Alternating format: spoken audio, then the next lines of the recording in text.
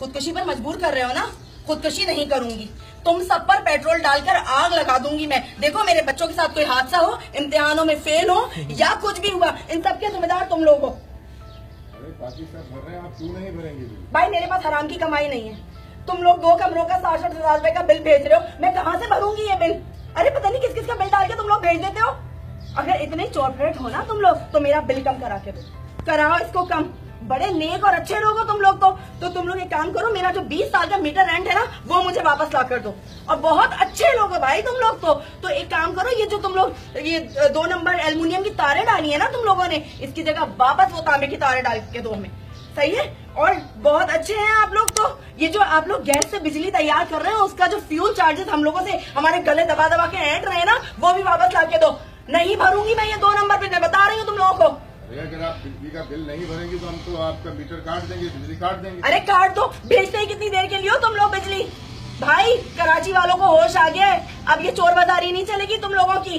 सुधर जाओ, वरना बड़ा बुरा होगा। इतने जूते पड़ेंगे ना तुम लोगों को। याद रखोगे तुम लोग अच्छी तरह। कह दिया मैंने, नहीं भरूँगी बिल, नहीं भरूँगी नहीं भरूँगी जाए से। बच्चे, दिमाग खराब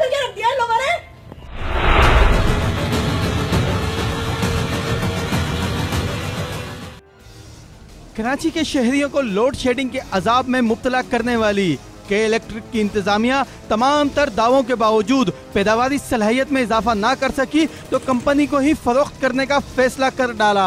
जराये का कहना है कि चीन की दो कंपनियाँ के इलेक्ट्रिक को खरीदने में दिलचस्पी रखती हैं। इन कंपनियों के डेढ़ सौ ऐसी ज़्यादा अफसर और इंजीनियर्स ने डेढ़ माह तक इदारे के मामला का जायजा लिया है, जिसके बाद इन कंपनियों की जानिब से अगस्त के दूसरे हफ़्ते में के इलेक्ट्रिक की फाइनल बोली लगाई जाएगी। के इलेक्ट्रिक ने चीन की कंपनियों शिंघाई पावर्स और चाइना सिजन ग्रिड को बिजली की ज़्यादा से ज़्यादा फरोख्त और आमदनी दिखाने के लिए 30 दिन के बजाय 40 दिन की मीटर रीडिंग करके सार्फिन को बिल भेजे, जिसकी वजह से कराची के बिजली के सार्फिन पर बिलों का इजाफी बोझ पड़ा।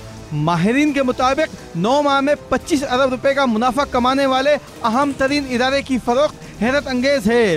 के इलेक्ट्रिक, जिसके 24 फ़ीसद के शेयर हुकूमत पाकिस्तान की मलकियत है, इसके बावजूद नेपरा हुकाम को भी आगाह नहीं किया गया। जबकि कराची स्टॉक एक्सचेंज के डीएमडी हारून अस्करी के मुताबिक के इलेक्ट्रिक ने कंपनी की फरोख से मुतालिक बातचीत की इतला दी है। तर्जुमान के इलेक्ट्रिक सैयद फखर अहमद का कहना है, किसी चीनी कंपनी को के इलेक्ट्रिक फरोख्त करने का कोई इरादा नहीं। चीन की दो कंपनियाँ ग्रिड स्टेशन और पावर प्लांट्स के तरक्याती प्रोजेक्ट्स पर काम कर रही हैं। राशिद सिद्दीक 92 न्यूज़ कराची।